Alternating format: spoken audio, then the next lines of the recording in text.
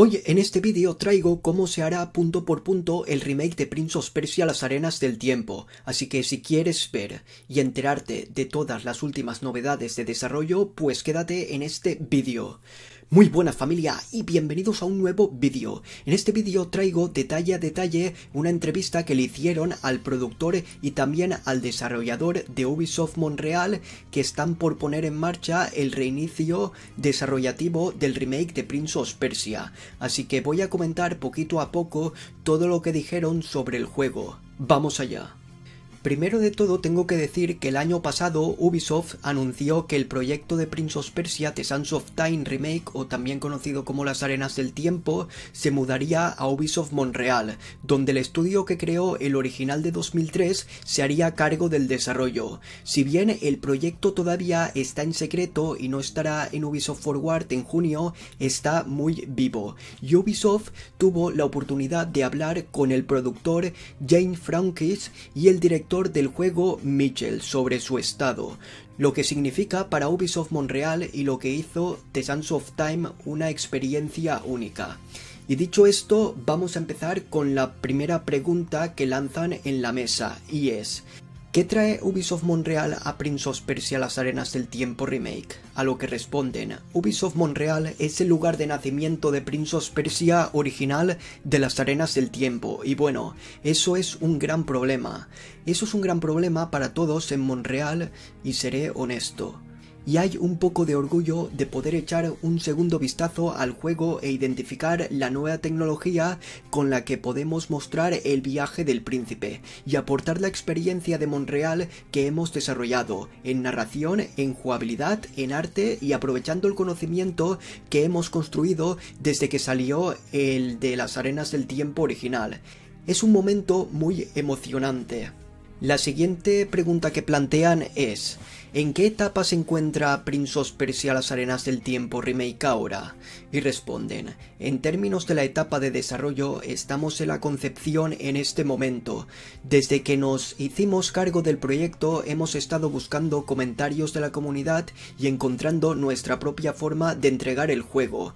Ahora estamos construyendo el equipo, definiendo las prioridades, armando prototipos, probando elementos y viendo cómo podemos incluir comentarios de la comunidad en el desarrollo también. Todavía está en una etapa temprana y los jugadores no deben esperar escuchar más sobre el juego este año, pero tengan la seguridad de que todos estamos poniendo nuestras fortalezas y corazón en este proyecto.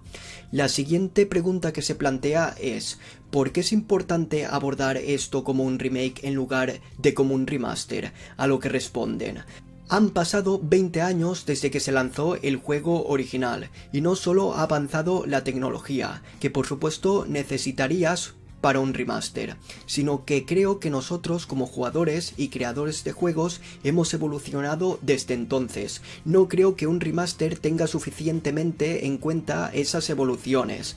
Creo que necesitas hacer un remake para evolucionar realmente el juego para que se adapte a un contexto moderno.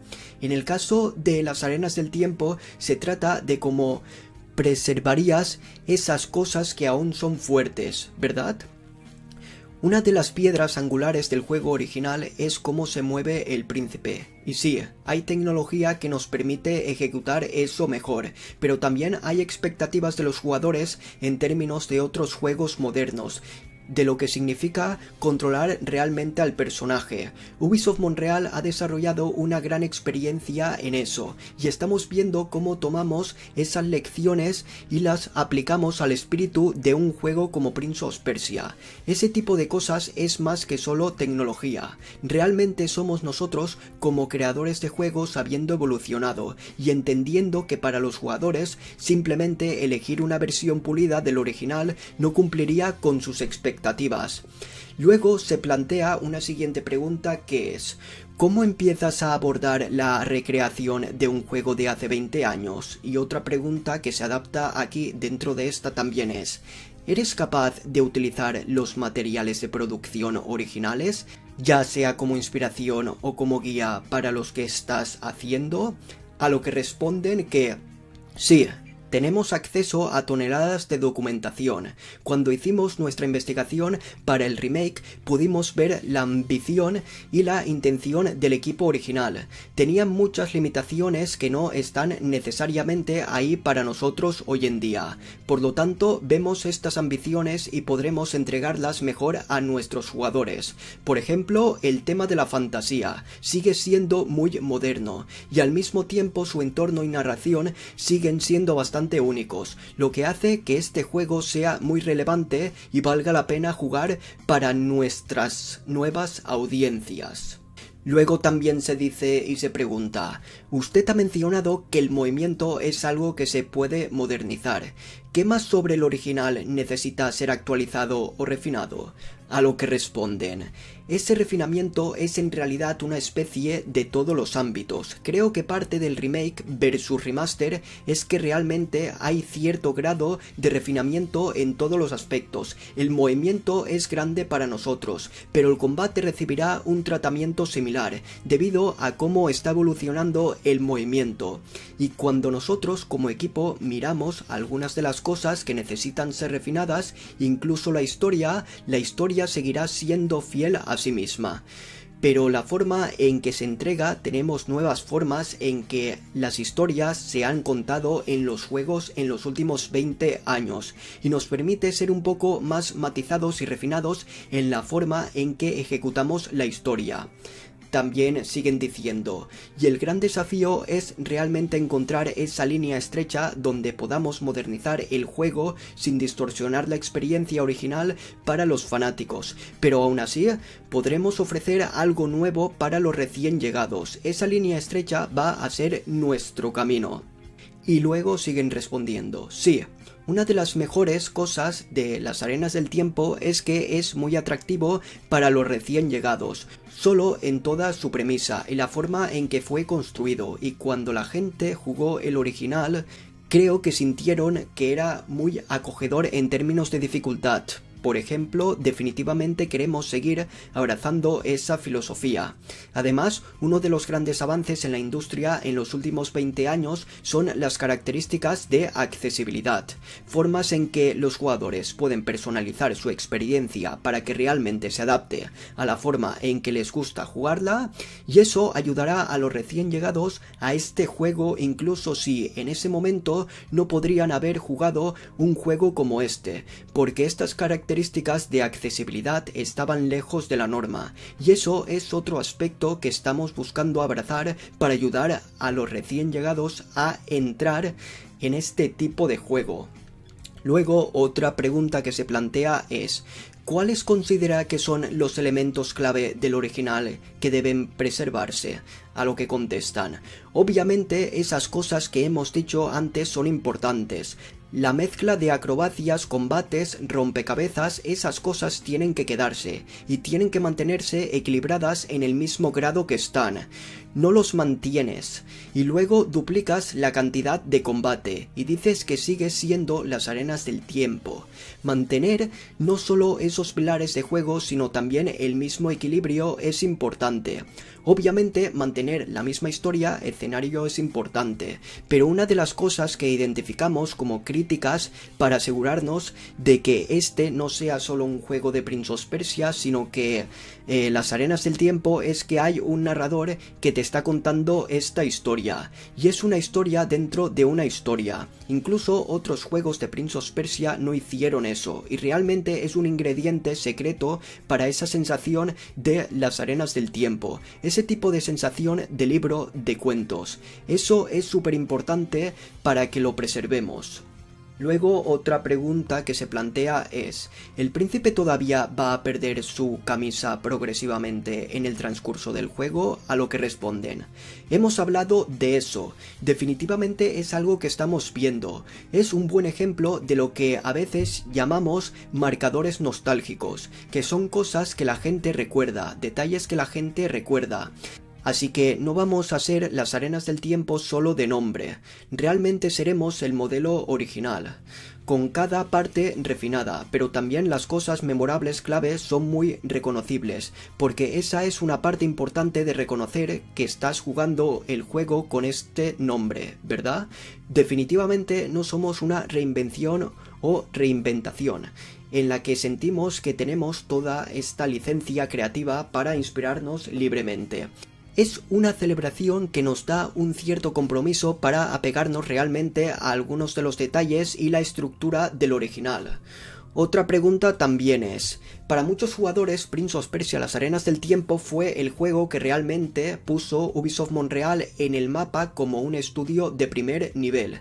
¿Qué significa Las Arenas del Tiempo para la gente del estudio?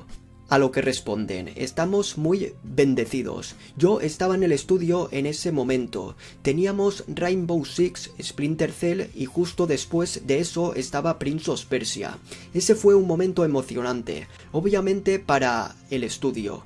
Fue un momento en el que fuimos reconocidos por nuestra creatividad no solo por los jugadores, sino también por la comunidad de jugadores, desarrolladores de juegos de todo el mundo que decían está sucediendo algo importante e interesante en Monreal.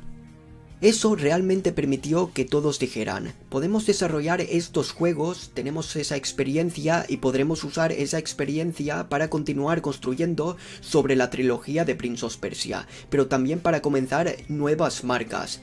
Es posible que haya oído hablar de Assassin's Creed, esto creó algo completamente nuevo y había este entusiasmo de que podemos hacer cualquier cosa y lo haremos y nos encantará. Así que sí, tuvo un gran impacto en nosotros.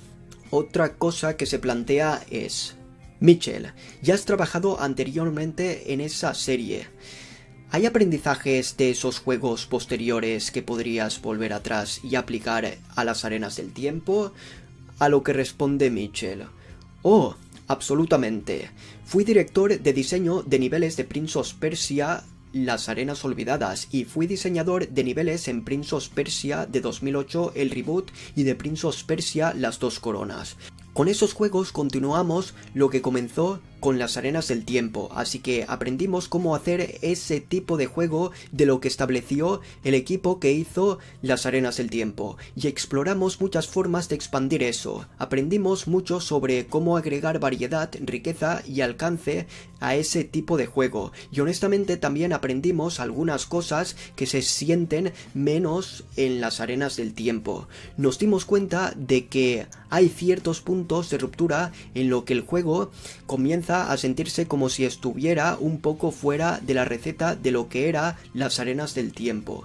Para mí, puedo llevar ambos tipos de lecciones a hacer el remake, presentando atención a lo que debe ser honrado para que se sienta como el juego original, y también identificando formas en que podemos aportar riqueza y variedad al original que solo se introdujeron en la franquicia más tarde. Luego, otra cosa que se dice es, hablamos un poco sobre lo que significa para el estudio, pero para la gente que tu equipo, para las personas que están reclutando para este proyecto, es decir, las personas que se están involucrando en el remake de Prince of Persia, le preguntan, ¿qué significa las arenas del tiempo para ellos? A lo que responde, hay docenas de grandes historias, y digo docenas porque no solo de personas que están en el proyecto en este momento, sino de personas de otros proyectos que hablan con nosotros. Tenemos una gerente que estaba en otro proyecto en 2002 y 2003 y no pudo unirse a las arenas del tiempo. Estaba frustrada por haber perdido su oportunidad y cuando comenzamos a trabajar en esto, ella fue la primera que volvió a mí y me dijo, no quiero perder mi oportunidad otra vez quiero estar en ese proyecto. Uno de nuestros programadores principales estaba estudiando para ser actuario. Y jugó las arenas del tiempo y cambió y luego dijo, no quiero dedicarme a la producción de videojuegos. El director de diseño de niveles se unió a Ubisoft y dijo, ahí es donde quiero trabajar. Estaba en la escuela, si mal no recuerdo, y estaba jugando el juego simplemente dijo, este es el estudio al que quiero unirme debido a ese juego. En el proyecto de hoy tenemos personas que estaban en el juego original que decían lo mismo. ¿Estamos haciendo un remake? Debo estar en ese juego, no es un proyecto más. Significa mucho para los miembros del equipo y es hermoso obtener todas estas historias. Sí, y quiero decir, para muchos de nosotros nos unimos debido a este juego, pero la oportunidad de rehacerlo es una oportunidad para hacer el tipo de juego que nos metió en la industria, y también para hacer el tipo de juego que solíamos hacer. Hay un alcance, hay un enfoque. Estos son equipos más pequeños e íntimos con una pasión común y un sueño común y así hay una verdadera atracción para hacer juegos a la vieja usanza para nuestro equipo también. Y la última pregunta que se plantea es, hemos hablado un poco sobre el lugar de las arenas del tiempo en la historia, pero ¿qué crees que consolidó ese lugar? Y también otra pregunta que se plantea es, ¿por qué resonó tanto que todavía estamos hablando reverentemente de ello 20 años después? A lo que contestan, las arenas del tiempo te hizo sentir cosas con su entorno, con su historia, incluso con cómo se movió el príncipe. Hubo una respuesta emocional al juego que creó que se destacó y que emocionó muchísimo. Y realmente se quedó con los jugadores que disfrutaron del juego, incluido yo mismo. Y entonces creo que cuando nos acercamos al remake ha sido muy importante para nosotros realmente concretar esos sentimientos, estar de acuerdo con esos sentimientos y asegurarnos de que no importa lo que modernicemos, esas cosas no pueden verse comprometidas, deben mejorarse. También siguen respondiendo y dicen, puedes ver que la excelencia era realmente un pilar, era una mentalidad que tenía el equipo original del juego, y nos acercamos a esto con la misma mentalidad. Entonces, ¿por qué fue un éxito? Porque fue excelencia en todos los ámbitos, y sentiste eso, sentiste la pasión de los desarrolladores de juegos cuando sostenías ese gamepad o mando en tu mano. Esta es la misma dirección a la que apuntamos y siguen respondiendo por último. Una vez más había algo en el juego que creo que golpeó a los jugadores emocionalmente y creo que las emociones duran mucho tiempo, más que simplemente digamos diversión. Así que creo que eso es algo que reunió a personas apasionadas a su alrededor. También hay algo en su receta, la mezcla del escenario y la jugabilidad, los personajes y la música, que realmente no se ha repetido. No es que se haya secado y que haya todo tipo de cosas que satisfagan ese atractivo todavía está solo en la memoria de las personas como el único lugar al que puedes ir si quieres esa sensación. Creo que esas cosas combinadas son las que le han dado su calidad atemporal. Y definitivamente acaban respondiendo con el último párrafo. El cuento de verdad. Este es el cuento de verdad. El entorno de las mil y una noches lo hace único. Como dijo Mitchell, no es algo que hayas visto en otros juegos o que se haya reutilizado una y otra vez. Y eso lo convierte en algo que los jugadores están realmente ansiosos por volver a visitar. En fin familia, espero que os haya quedado claro todo lo que van a implementar y tener en cuenta con este reinicio de desarrollo en el remake de Prince of Persia The Sands of Time. Si te ha gustado el vídeo, pues dale una manita arriba. También comparte el vídeo para que la gente sepa las últimas novedades del remake de Prince of Persia. Y nada más familia, nos vemos en la próxima.